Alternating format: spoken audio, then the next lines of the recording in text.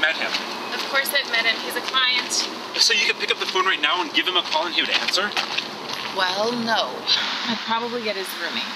He has a roommate? Oh man, how cool is that?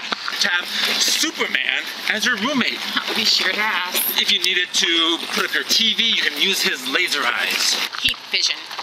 But does his cousin ever come over? Sometimes. Oh, she is so hot.